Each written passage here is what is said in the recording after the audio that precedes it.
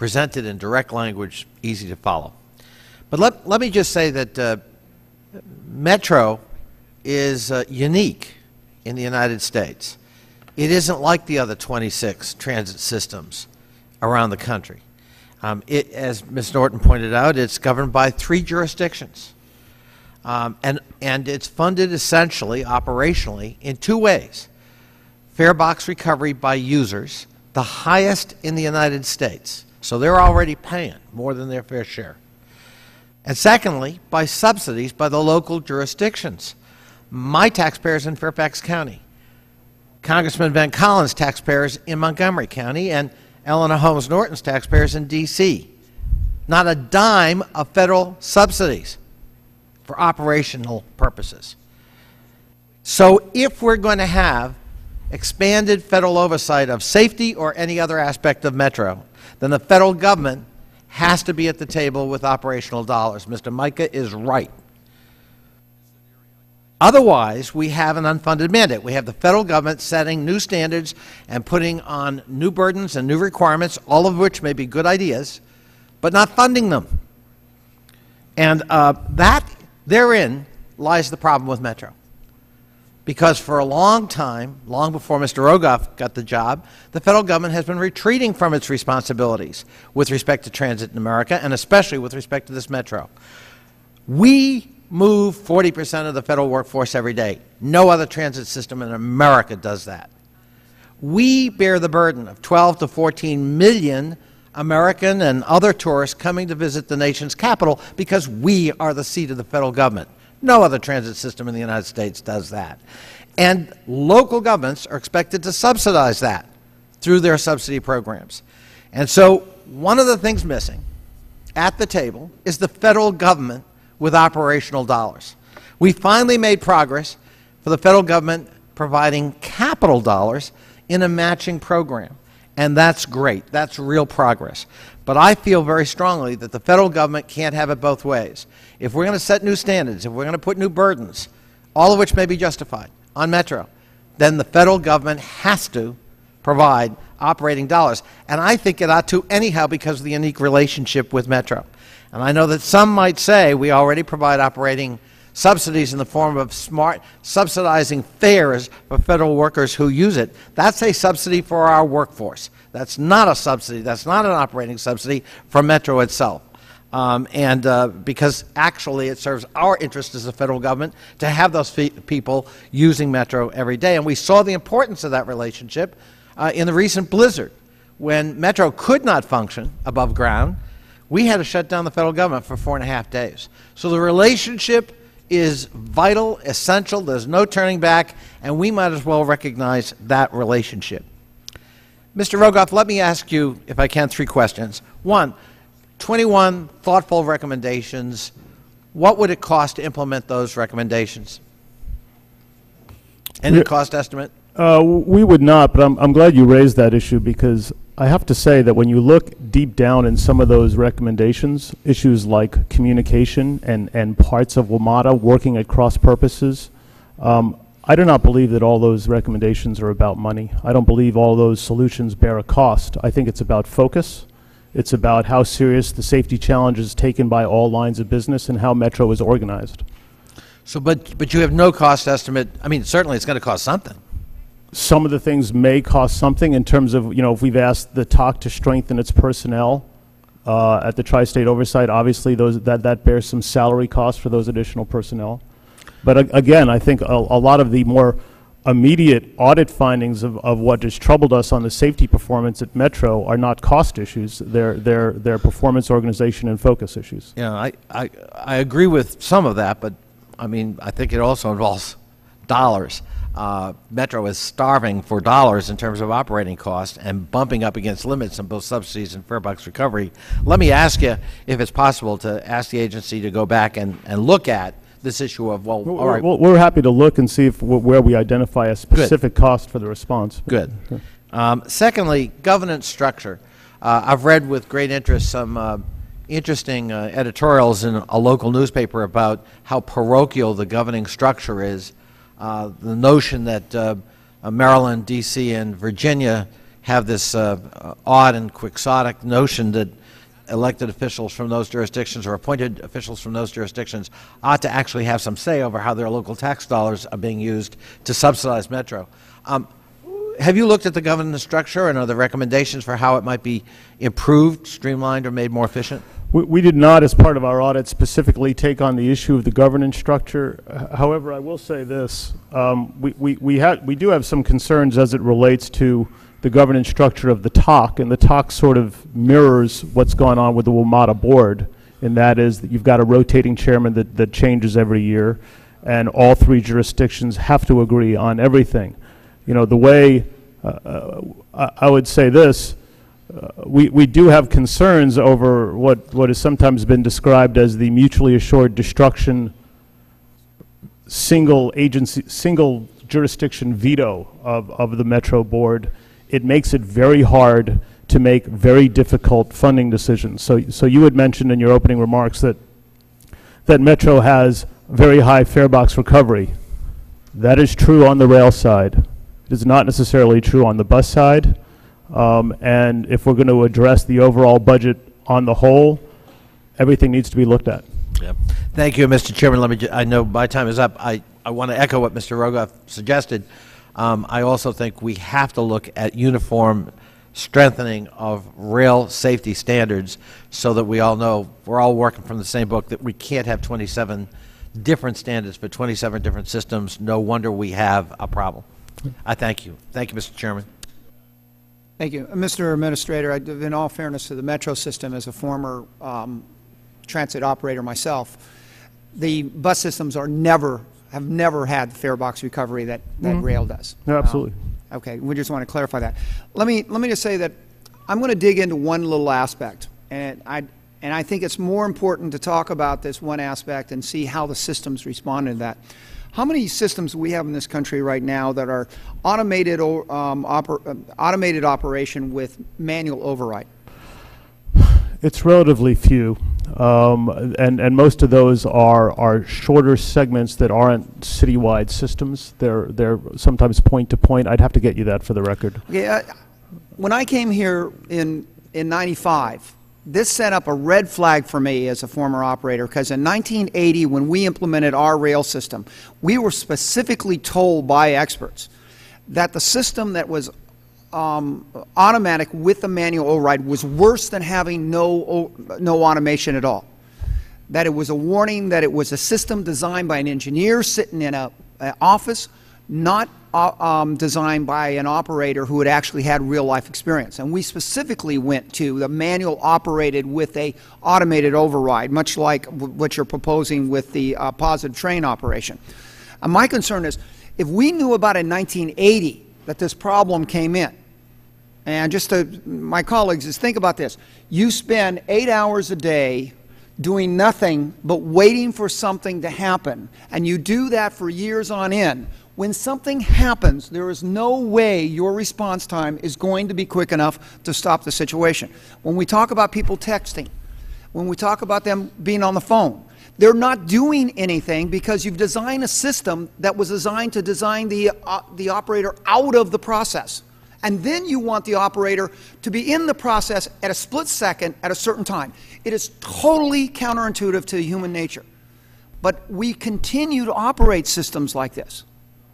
Uh, I'd agree with you, sir, that the whole issue of, of operator engagement, fatigue, sleep apnea, and, and what, how we keep the operator engaged in, in, in their task is a very important area for, for not only research, but, but a real hard look by some of these agencies. It is, it is a concern, and the NTSB has spoken to it also. Well, Mr. Operator, you don't have to go very far. I mean, Mr. Administrator, you don't have to go very far. You go right down with the tram between here and the Capitol.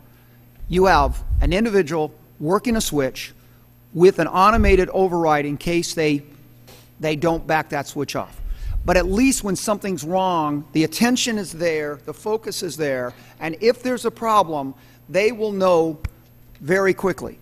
I'm just got to say that what worries me is where has the entire safety um, oversight in this country been since 1980 when those of us in the system knew that this, this whole assumption that some, you know, excuse me, expert engineer who probably never drove a train in their life, designed this perfect system that was, that was designed to eliminate the operator and then include the operator there for a false security that really doesn't work. How can we, how have we allowed that to happen over the last 20, 30 years? Well, I think you, you, you- you've correctly identified that in the interest of trying to develop fail-safe systems, they have, they've tried to eliminate the risk posed by the human factor. Uh, and sometimes when you eliminate that human factor, you also uh, eliminate the attentiveness of that human. And, and, and this is an area that I, I, I know in our, our research and, and, and uh, innovation office within DOT, they are looking at on a, and on a mode-wide basis, and maybe we can have uh, that administrator, Peter Appel, come up and talk to you about what we're trying to find out there. Okay, I just, I think that what we did is we tried, we, we saw the human factor as being the weak link in the process, rather, and that technology was the answer all the time. But instead of taking the positives of both, we took the negatives of both. That when an automated system fails, there is no way for the operator to respond, where in fact, if we had put the operator control with the backup of automation, there's a capability uh, that automation does not get fatigued, does not get in a pattern. Automation can respond in time. And we've literally allowed some nerd in a back room because he's got a PhD to design a system that doesn't work in the real world. And I worry about that, that in the federal system, our safety system didn't operate in the real world because we didn't nip this and say up front to everybody what I was told as a young, you know, designer of a, of a transit system, don't follow these guys down this road. This is a system that is not based in reality and it will kill people. So I, I've got to say, Mr. Chairman, when I saw the accidents here, it hit right on my first reaction was this is exactly the system was designed to do this these accidents were designed into the system but somewhere down the way our process did not re-engineer the process and make them change to the positive thank you i appreciate it I, I I just said, I- I believe Jackie Jeter is testifying on the next panel. She represents the rail operators, and I think she'd probably have more real-life information to share with you on that than I can. Thank you very much, Mr. Chairman. the um, this is a dysfunctional system, isn't it? It needs work urgently.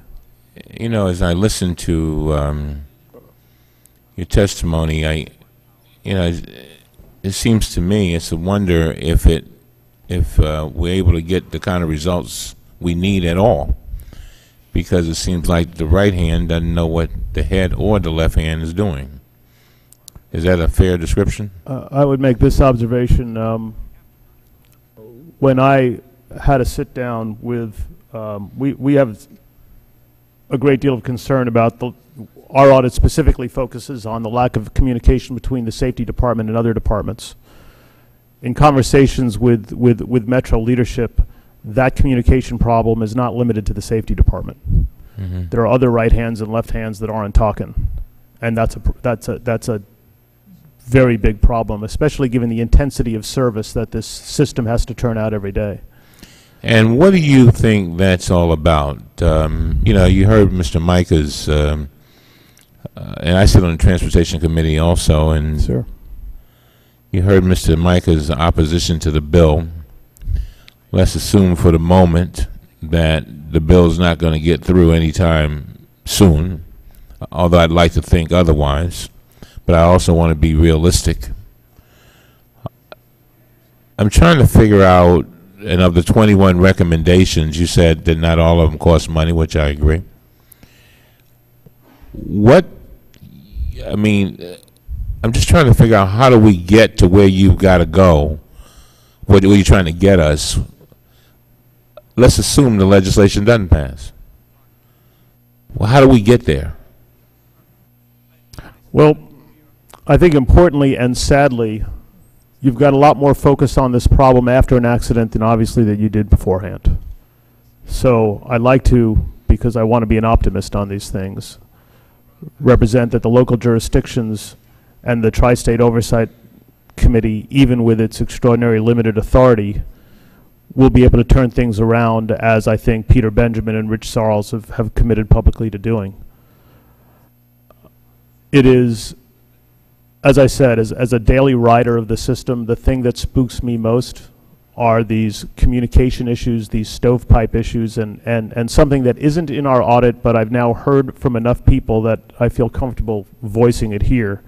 And that is that there's some real bl- bad blood and hostility between some operating departments. And that's a very, very dangerous uh, environment in which to be running uh, rail and bus operations. So I think an important focus of what, what needs to get us where we're going is, is, is new metro management needs to identify that for what it is, pierce through it, and if people all up and down the chain still want to voice hostility and not work together as a team, then, then maybe they should go find their new team somewhere else and bring in people that are prepared to work as a team to focus on the problem. Do you realize what a sad commentary you you just made? Do you uh, realize how sad that is? I, I do, sir, but the audit speaks for itself. Uh, th- th- these are not It's chilling light, lighthearted findings. The um, so basically, what we're talking about are uh, aside from all the things that you've dealt with in your audit, you're also talking about um, probably a morale issue Clearly. and something and a leadership issue. And I'm not saying present leadership because I know it's new and all that, but and you know it's so sad that we would you know you can have all the rules and the regulations you want, but if you don't have people who are committed to the mission, because I think when you're committed to the mission, a lot of that small stuff and Falls away. sweating it goes away. And it's sad. It, it's really sad. So how do you? So you're saying you almost have to start from from scratch. I think you need to start from the top, the bottom, and the middle. And, and let me just give you an example. I think you put your, your uh, you kind of hit the nail on the head when you talk about morale and what is it that the workers see when they report a safety concern up the chain. Does anything ever come back? When we talk about establishing safety management systems, not just at WMATA, but in every rail transit system through our legislation, it's about having an environment where every uh, set of eyes and ears at the transit agency is focused on safety and is reporting issues up, and there are people who are analyzing that information and finding out where the safety vulnerabilities are and addressing them first. But if you've been working on the right-of-way for a dozen years, and in the last three years, every concern you raise doesn't get an answer, in some cases, it's even worse because in some cases, the transit agency addresses their problem, but doesn't tell you that they've addressed the problem. So you don't even know that they've addressed it, and it, and it turns into a real uh, morale buster in terms of if, if middle management and senior management isn't caring about safety, why should I? And last, just last thing, Mr. Chairman, and then it becomes like a cancer Absolutely. because the people, new people come in, they say, "Well, why are you working so hard?" Mm-hmm. and so you got a problem, and the people suffer. Thank you, Mr. Chairman. Thank you, uh, uh, Mr. Rogoff. I I just think in response to Mr. Cummings, you referred to bad blood between uh, some of the different groups at at WMATA. And before we bring up the last panel, I think it's in the interest of the- the public record that you uh, elaborate just briefly. I think we'd all benefit, and I think WMATA would benefit, because this is a very important issue uh, that was that was brought up. So if you could just briefly elaborate so that the I- I'll elaborate a little bit, but out of fairness, I need to say that these observations that have been made to me have been anecdotal. Uh, and that is, uh, especially when it comes to these issues of right-of-way safety, you've got different workers uh, working in different crafts. And really, a, a common rule of thumb when you've got people working on the right-of-way with, with moving trains is everyone has to get a comprehensive safety briefing and know where everyone is at all times. Uh, and, and, and the observation has been made to me, again anecdotally, that folks are not making that extra effort. It really shouldn't be an extra effort, it should be a fundamental effort. And, and that is for lack of caring on, um, between departments as to who's on the right-of-way crew versus who's, who the operators are. Uh, uh, it, it's a concern that, you know, that's the most critical safety example, but I think that there are other examples. Let me give you one that was in our audit when the safety department has come around to other operating departments and says, we need to audit your safety department, they've had their own authority questioned. Why do we need this safety audit? What do you know about it? And, and that, that's, that's a kind of, a form of dysfunctionality that, that can't be allowed to persist. Sure. If, if I can just interject, there's another aspect here we don't even talk about, and, and that is getting the policymakers before construction to be looking at the safety. The policymakers, when you're talking about doing alignment, good example is alignment. Let's talk about the, the metro when it goes over through Alexandria. How many times when a policymaker on the board decides to go with an engineering that's an elevated platform, are they informed and, and sensitized to the fact of the increased risk of maintenance on elevated platforms as opposed to ground level or underground? That kind of thing needs to be interjected, not just when you're doing the operation, but when you're designing the program, when you're deciding right-of-ways. All of this needs to be front-loaded so it's, you're not trying to make do afterwards. Mr. Bilbray, we completely agree, and indeed, our current regulations ask the states to set up a states, wh- where you're introducing a rail transit system in a state for a first time, we ask the states to establish their state safety office so they could be in conversation with the designers of the system rather than just come in on the first day of operation.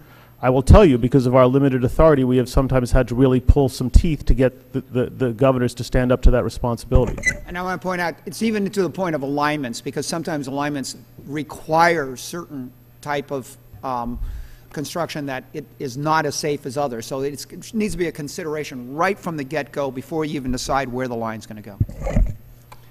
Th- Thank you, uh, thank you for testimony, Mr. Rogoff. Now we're going to bring up uh, the next panel. Uh, Mr. Sarles, Mr. Benjamin, Mr. Bassett, Ms. Jeter, and Mr. Albert. One of the biggest problems with, remember the monorail was going to be the big fancy thing? Yeah. Maintenance safety, maintenance on, on elevated platforms, night, Is that right? abs-